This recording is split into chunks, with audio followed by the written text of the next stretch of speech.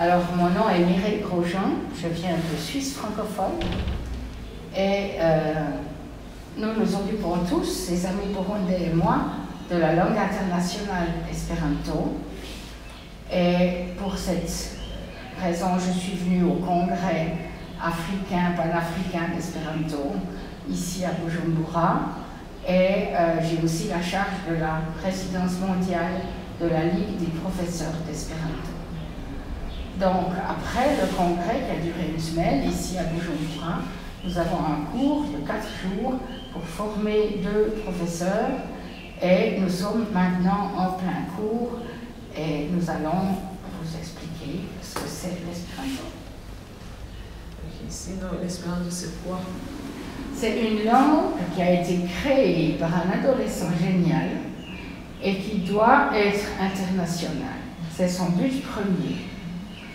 Elle a été créée à la fin du 19e siècle parce qu'on a tous sa langue maternelle, c'est comme une espèce d'étiquette qu'on a au front.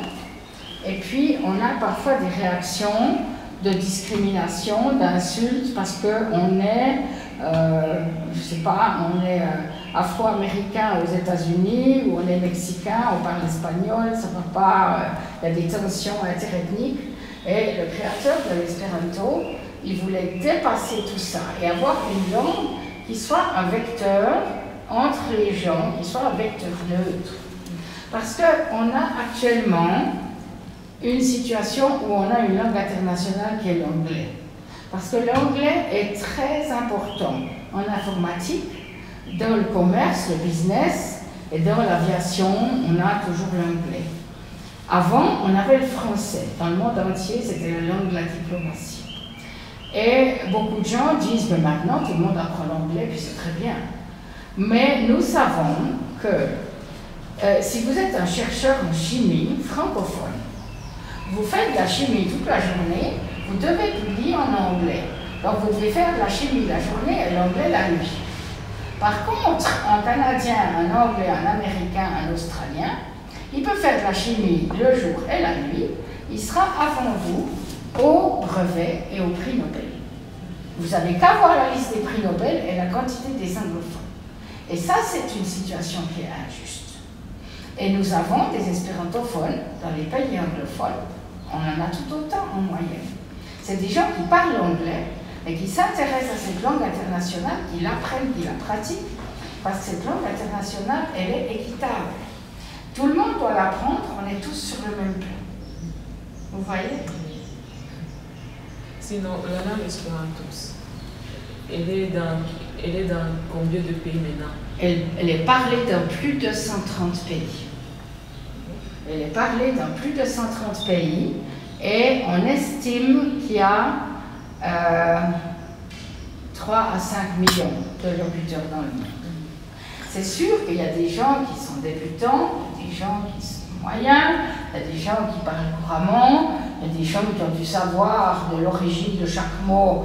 Euh, c'est pas du tout une chose qui m'intéresse moi.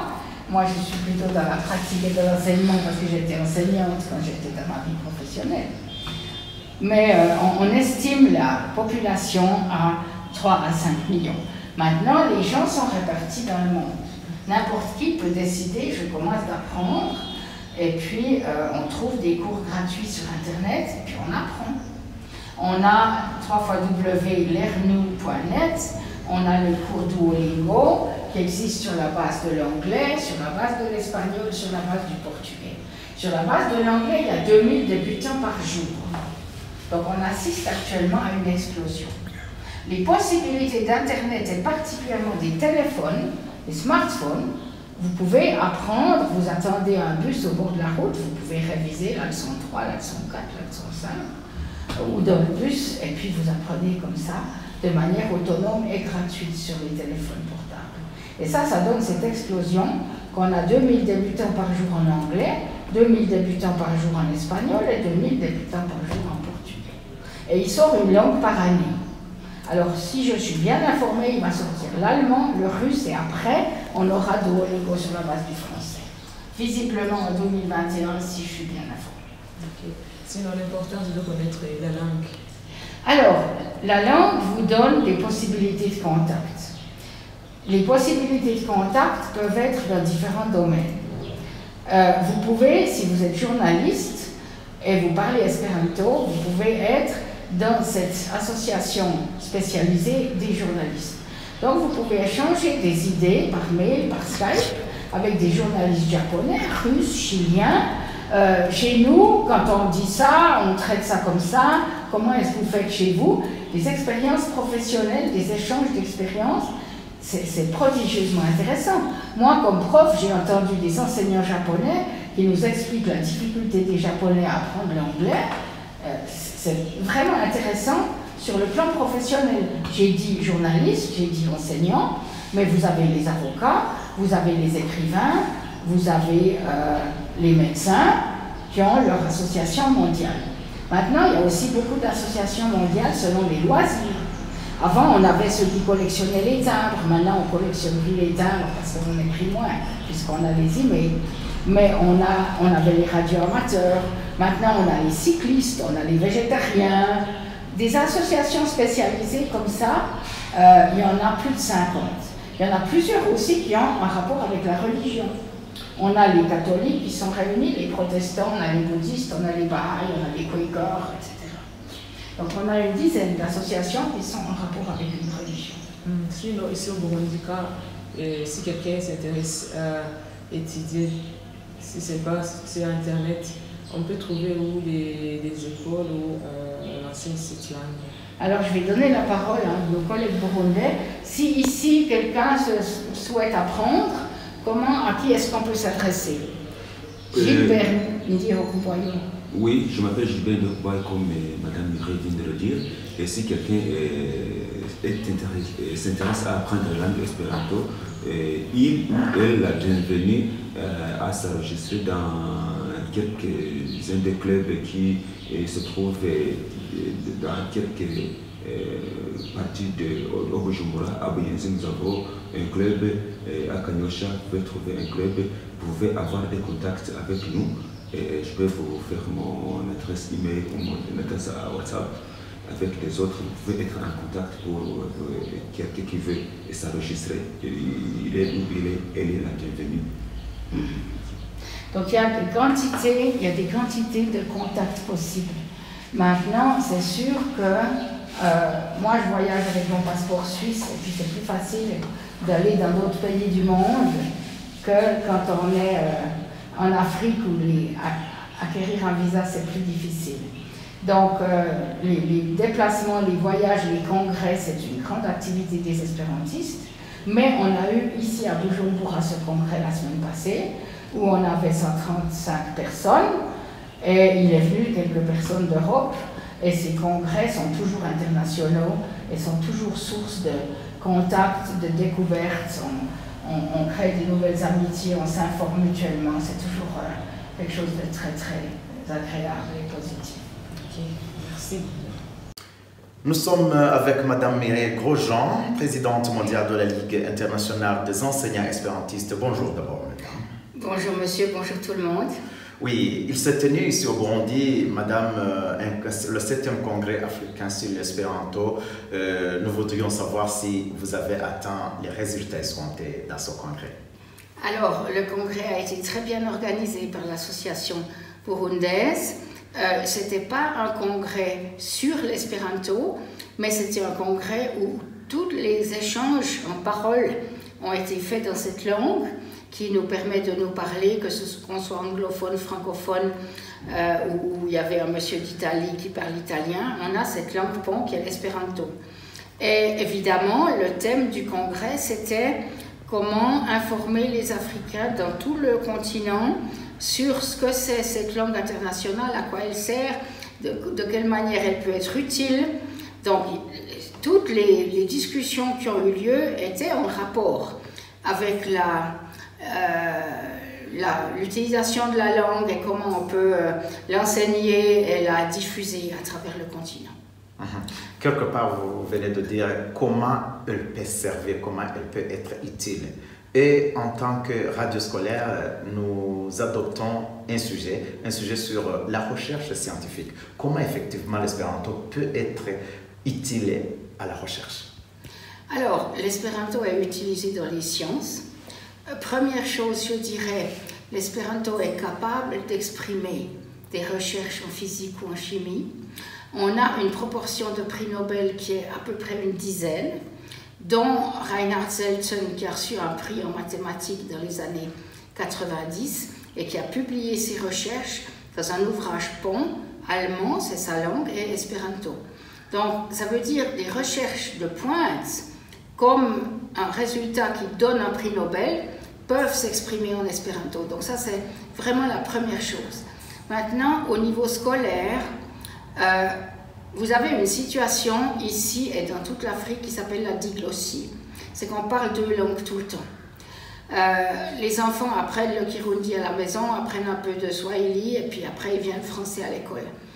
Et euh, c'est une situation qui est très très favorable par rapport à l'Europe où la plupart des Allemands ne parlent qu'allemand, la plupart des Français ne parlent que français, la plupart des Polonais ne parlent que polonais. On leur dit tous les Africains sont polyglottes, ils tombent des nues. Donc, euh, nous sommes dans une situation beaucoup plus pauvre au niveau des langues.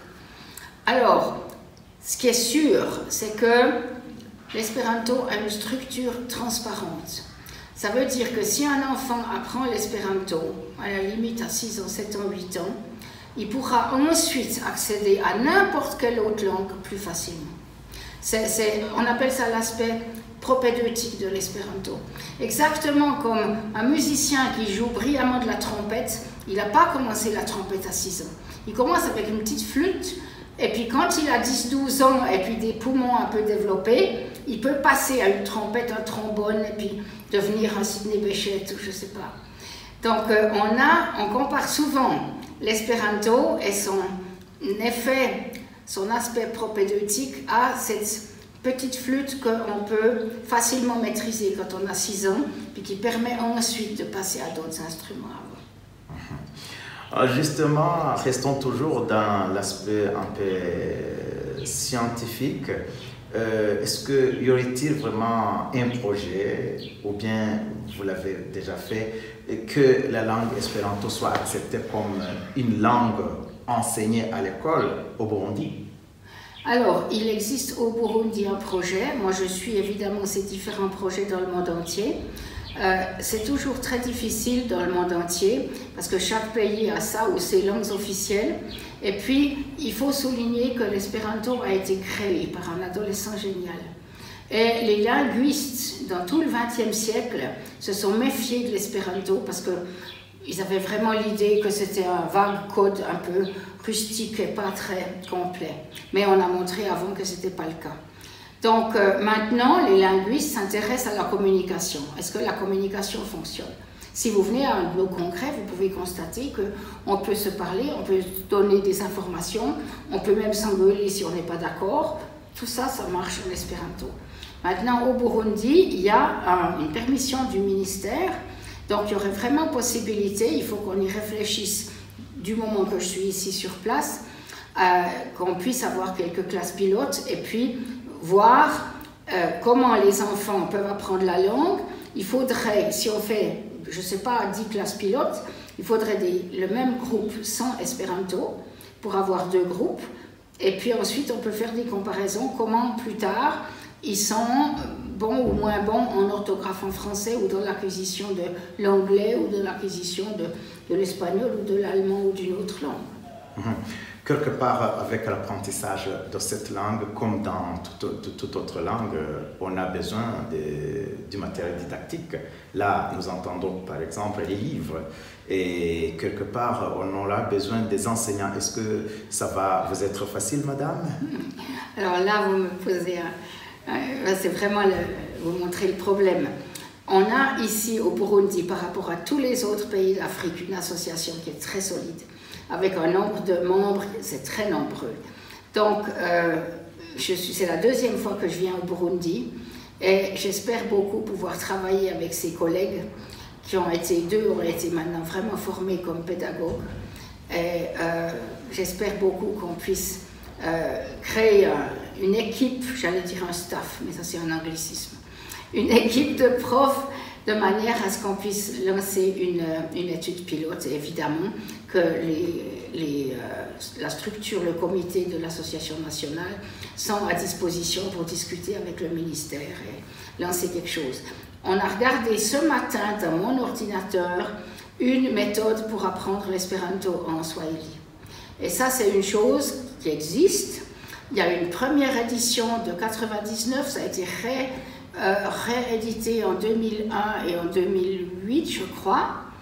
Et euh, on est en train de faire la dernière relecture et on a déjà des offres de certaines imprimeries de Bujumbura parce que c'est évidemment quelque chose qu'on va publier directement ici plutôt qu'imprimer en Europe puis envoyer, ce serait idiot. Et puis c'est une méthode qu'on pourrait aussi utiliser en Tanzanie, au Kenya, au Rwanda. Euh, on est très heureux d'avoir ce livre. Il faut maintenant le mettre à jour au niveau de tous les sites internet où on peut apprendre l'espéranto gratuitement, que ce soit Duolingo, que ce soit lernou.net. Moi, je dois faire encore une page sur présentation du mouvement, l'association universelle, la Ligue des profs, page qui devra être traduite en swahili. Et puis ensuite, on peut passer à, à révision de la mise en page et impression.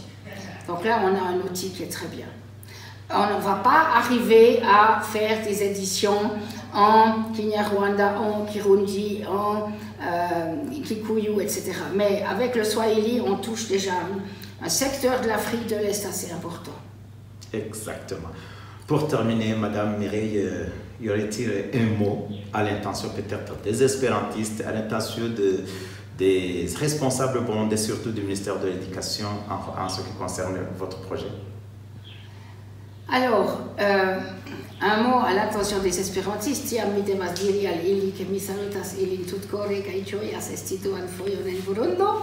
Ils auront compris, je suis heureuse de revenir au Burundi pour la deuxième fois.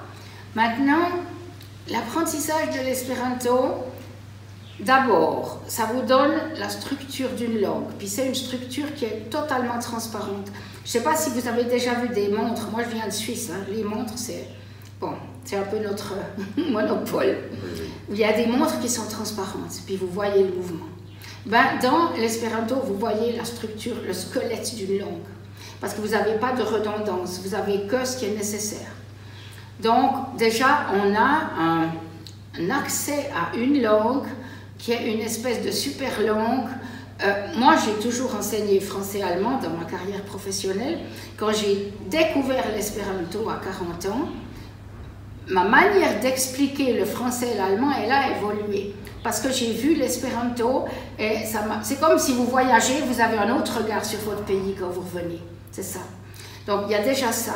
Et ensuite, ce qui est très important aussi, on a parlé de l'aspect propédeutique, ça aide à l'apprentissage, mais n'importe qui qui parle espéranto, il a ce sentiment d'appartenir à une grande famille humaine. Donc c'est vraiment pour ça euh, c'est un vecteur de paix, c'est indéniable. Et ça, c'est très, très favorable. Il y a une entraide à l'intérieur du mouvement. Euh, bon, je ne vais pas non plus, euh, j'espère pas faire naître d'immenses espoirs, mais, mais il y a une entraide réelle à tout niveau, que ce soit, moi ça m'arrive d'enseigner au Bénin, je reçois une centaine de dictionnaires qui viennent de France. comme ça, on s'organise pour faire avancer les choses pour soutenir les gens. Et surtout, alors la première chose, c'est des renseignements, des informations. Imaginez, vous avez un, ensemble de tous les médecins qui parlent espéranto. Ben, un peut demander, un, médecin allemand peut demander au médecin chinois, dans, ce cas-là, tu ferais quoi? Euh, Les journalistes ont une association mondiale. Les avocats ont une association mondiale.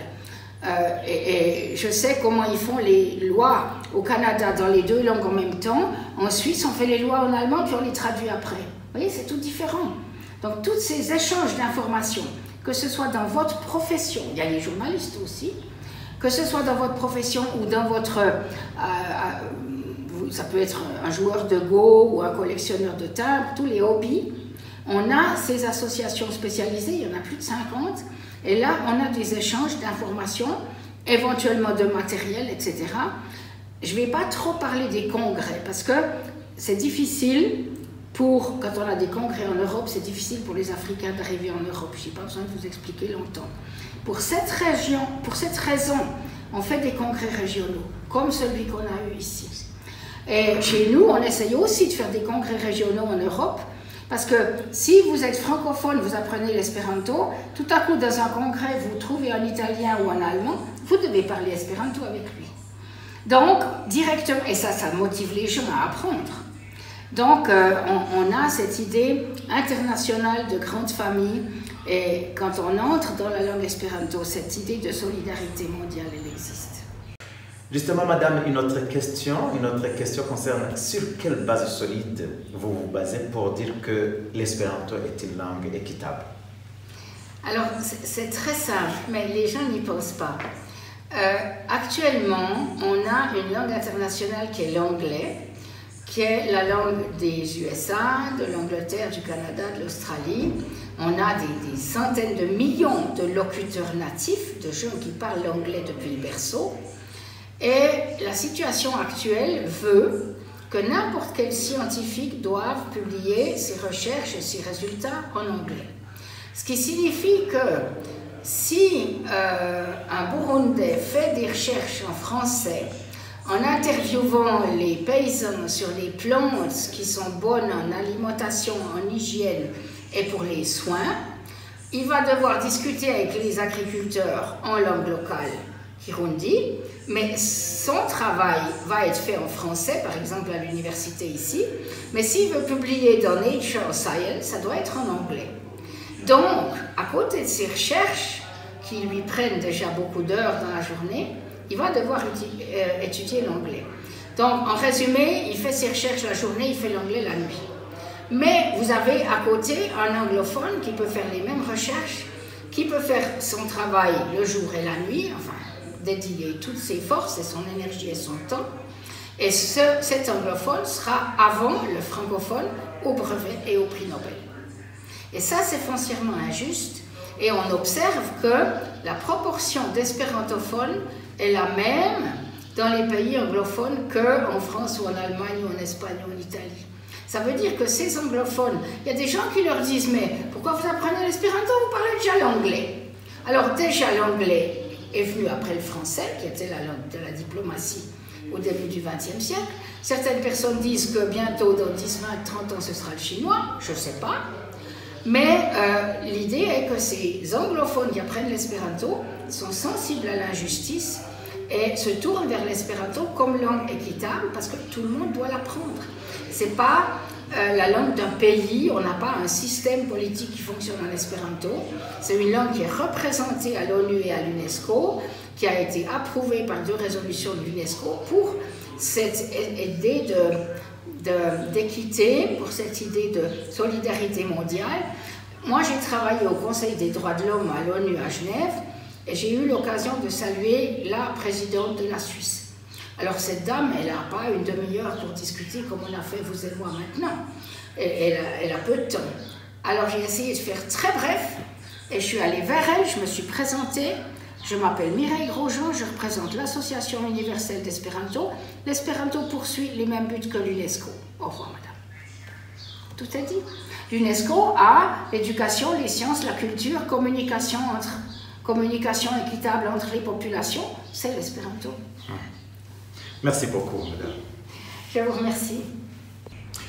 Merci beaucoup, madame. Euh, rappelons que nous étions avec euh, madame Mireille Grosjean, présidente mondiale de la Ligue internationale des enseignants espérantistes, qui nous, a, qui nous a accordé cette interview. Merci de l'entretien que vous nous avez accordé, madame Mireille Grosjean.